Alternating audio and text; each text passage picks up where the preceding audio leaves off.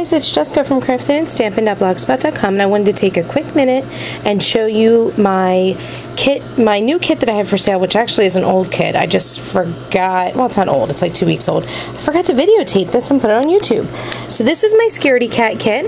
Um, if you purchase all the items, which you can find right, I'll put down below the link um, to my blog. It'll tell you all the items you need and it'll give you a link to my online store. And once you purchase those items, all you need to do is send me a quick email um, and I will send you the detailed color uh, with picture instructions on how I made all these projects.